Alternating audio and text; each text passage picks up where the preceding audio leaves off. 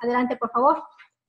Iniciaríamos la primera ronda con las preguntas de esta entrevista en panel por competencias y para ello le daría el uso de la voz al doctor Igor Rivero Ávila, quien les indicará quiénes de ustedes iniciarán con la respuesta a la pregunta que les formule. Adelante, doctor. Gracias, consejera. Buenas tardes. Iniciaremos con el tema de las la competencias apego a normas y procedimientos, que tiene que ver con preservar el interés superior de las necesidades colectivas sobre los intereses particulares o personales. Es la misma pregunta para los tres. El orden de las respuestas de quien contestará primero es Manuel, posteriormente Ismael y finalmente Leonel. La pregunta es la siguiente. Describa cómo ha logrado en situaciones laborales anteriores ser neutral ante los intereses de un grupo de personas. Adelante, Manuel.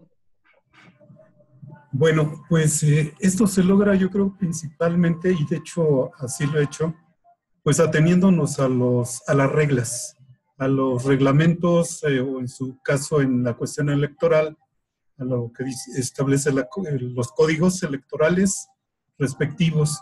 Entonces, pues ahí prácticamente muchas veces están contemplados la mayoría de los, de los casos que se pueden presentar. Entonces, ¿cómo estar uno eh, sin mostrarse afín a un lado o a otro? Pues viendo y haciéndole saber a estas personas que no hay un favoritismo, que no hay una tendencia hacia tal lado, sino que simplemente se está cumpliendo lo que establecen los reglamentos, las leyes etcétera. En todo caso, lo que establece el marco legal en nuestro caso. Esa sería mi, manera de no mostrar preferencia por, por un lado u otro, atenerme a, a, las leyes, a la normatividad. Gracias, Manuel. Adelante, Ismael. Sí, buenas tardes.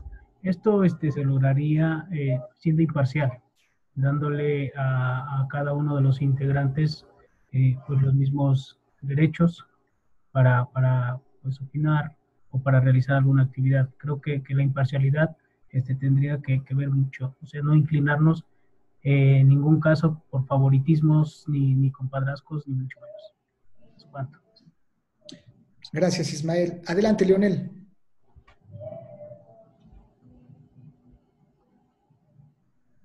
Leonel, por favor, ¿podrías activar tu micrófono, Leonel?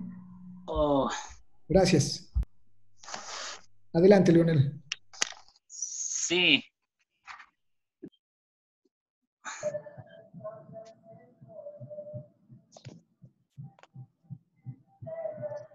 ¿Sí?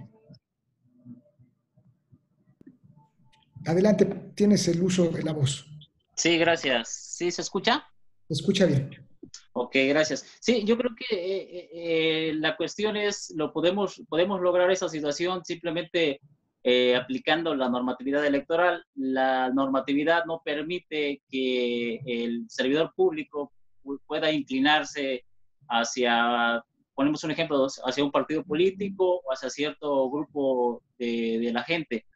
Entonces, simplemente siguiendo la, la normatividad nos va, nos va, a permitir esa cuestión. La, la, otra situación es pues practicar los, los, los, principios del Instituto, de, del Instituto Electoral del Estado de México, en este caso la, la imparcialidad, ¿no? Que, que rige el actuar de, de, los servidores públicos que elaboran en este instituto. ¿Es cuánto? Gracias, Leonel. Gracias por sus respuestas, consejera. Por mi parte sería todo. Muchas gracias, doctor. Ahora le daría el uso de la voz para la segunda ronda de preguntas al maestro José Mondragón Pedrero. Adelante, maestro. Con mucho gusto, consejera. La competencia que me corresponde, sobre la cual me corresponde preguntar, es la competencia relacionada con integridad, es eh, vincular el actuar de, de, manera congruente con los principios que debe observar en su actuar cada, uno de cada una de las personas. Eh, en ese sentido, la pregunta, es, el, el orden de respuesta sería primero Ismael, después Leonel y finalmente José Manuel. Eh, la pregunta es la siguiente. eh, en situaciones anteriores, ¿qué han hecho cuando se comprueba la falta de integridad de un miembro eh, del equipo en el que trabajan? Por favor, entonces, primero sería Ismael, si eres honor. Sí, bueno, para este caso, este, siguiendo el principio de integridad, pues como ya lo comentó, hay que, hay que, hay que mostrar congruencia. Eh, en ese sentido, si se detecta la falta de, alguna persona, pues lo, lo, primordial es este, pues, actuar de acuerdo al código de ética y pues eh, darle seguimiento eh, con respecto a, la falta que haya cometido. Si, si está, se hace acreedor a alguna sanción o se hace acreedor a una amonestación, pues este, actuar de esa manera. Es cuanto. Muchas gracias. Leonel, por favor. Voy a precisar un poco la pregunta, no la este, escuché bien. Cuando has, eh, cuando has eh, presenciado que alguien falta, tiene una falta de integridad eh, en el equipo en el que trabajas, ¿qué haces? Ah, ok. Este, bueno, yo tengo la experiencia de tres procesos electorales como vocal y me ha tocado, este, pues obviamente tener gente que asiste, ¿no? A, las actividades. Y sí, me ha tocado en algunas ocasiones a, algunos miembros. Eh, yo en, lo particular lo que hago es, este, una reunión de trabajo al principio, eh, precisar bien lo, lo, que queremos, lo que queremos lograr. Si de, si de eso alguien eh, no, no está cumpliendo con lo que se le pide, de manera personal platicar con esa persona, motivarle, apoyarle, eh, este, hacerle sentir que, que, está el vocal ejecutivo o los vocales están eh, con él para, para, apoyarle.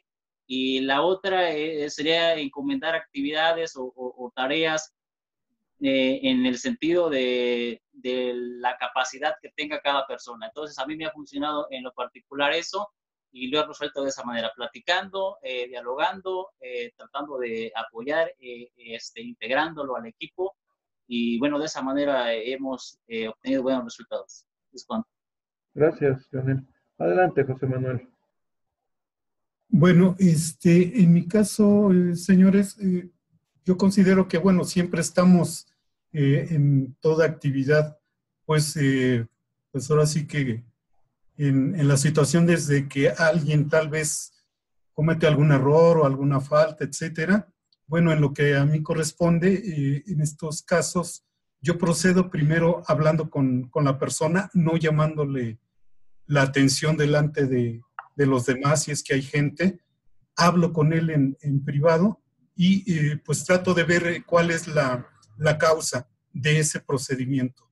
Y sobre todo hacerle ver a, a esta persona pues que ha actuado mal y que este, pues ya no se esperaría que no volviera a repetir esa, pues esa acción y hacerle también eh, presente que para todo, este, pues ahora sí que para toda acción hay una reacción que tenga la, eh, pues el conocimiento de que puede haber alguna sanción, alguna, este, alguna consecuencia y que bueno, en ese caso pues lo mejor es este, abstenerse de, de volverlo a intentar hacer otra vez.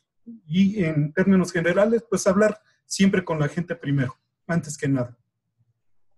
Muchas gracias, José Manuel. Por mi parte sería cuánto, consejera. Muchas gracias, maestro Mondragón Cedrero. Y bueno, a continuación yo les formularía una misma pregunta para ustedes y les pido que contesten en el orden que les menciono. Leonel, primero, después Manuel y finalmente Ismael. Y bueno, sus respuestas deben incluir lo ocurrido, lo que esperaban ustedes y el resultado. Y mi pregunta va enfocada a la competencia de coordinación, que bueno, que es básicamente propiciar que el trabajo en equipo se puedan alcanzar los objetivos comunes que se están planteando, a efecto de que se pueda ponderar la vocación de servicio en beneficio del interés colectivo. Y bueno, sería eh, que me mencionaran una experiencia reciente en la implementación de un proyecto en donde se beneficie a la colectividad, no necesariamente tiene que ser en el ámbito electoral. Adelante, Leonel, por favor.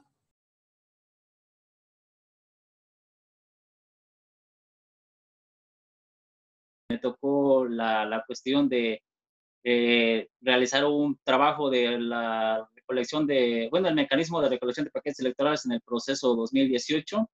Se lo encomendamos a una persona, eh, obviamente en apoyo de, de, la Junta, pero sí tuvimos algunas, algunas dificultades eh, en, cuestiones de los tiempos.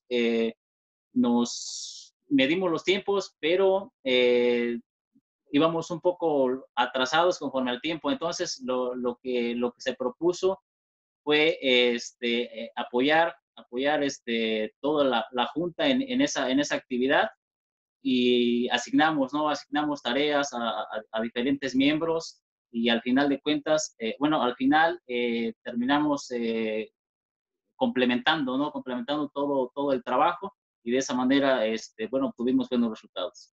Es cuando. Gracias, Leonel. Eh, a continuación, José Manuel, por favor. Sí, bueno, eh, en lo que he tenido yo de experiencia también en el, principalmente en el ámbito electoral, pues es la, pues digamos, la conciencia de que pues todo esto, lo que hacemos es un trabajo en equipo. Nadie puede estar este, aislado porque pues simplemente no, no consigue uno nada siempre tenemos que estar en, conjunción, en coordinación con tanto con los niveles superiores, con los niveles inferiores e inclusive con los que están a nuestro mismo nivel, ya que si no lo hacemos así, pues simplemente, pues si no funciona una pieza, pues eso a la larga afecta a todo el sistema. Y bueno, aquí, por ejemplo, en, tal vez no, no, se siente mucho en, en, cuanto a mi experiencia electoral, pero por ejemplo en otras áreas este, también de trabajo en, en, equipo, pues a veces resulta que algún compañero se, se atrasa eh, o no logra los objetivos que se le han impuesto. Y bueno, tratamos de ver cuál es la, la situación, el problema, y si es necesario, pues le echamos, este, pues ahora sí que montón, le echamos en equipo para sacar algún trabajo rezagado o completar alguna meta. Y, y bueno, esto este, sabemos que a lo mejor no tenemos de por qué me toca a mí y todo eso, sino que eso tiene que hacerse porque al final va a redundar en el, en el bien del equipo. Gracias, José Manuel. Y finalizaríamos con Ismael. Adelante, Ismael, por favor. Ok, muchas gracias. Este, en mi anterior trabajo eh, eh, realizábamos prácticamente lo que es el, censo de población y vivienda en el municipio de Metepec.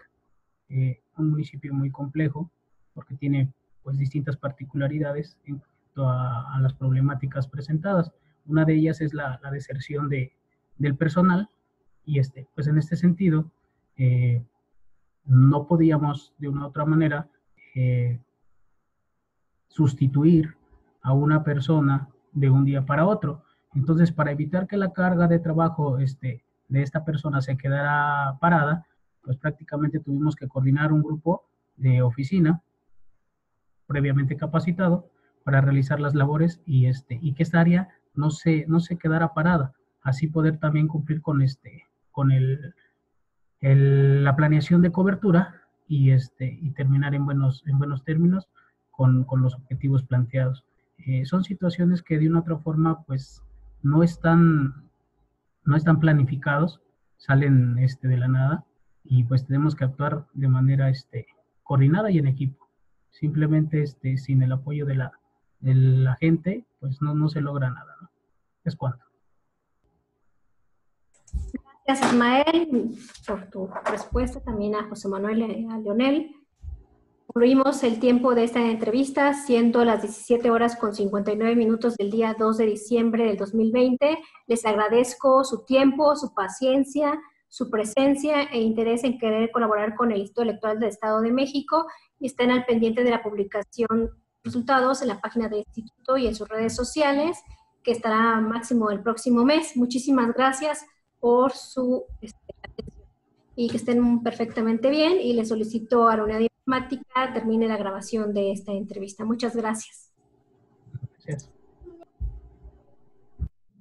Leonel, muchas gracias. Si nos permites, no te desconectes. Danos unos segundos, por favor.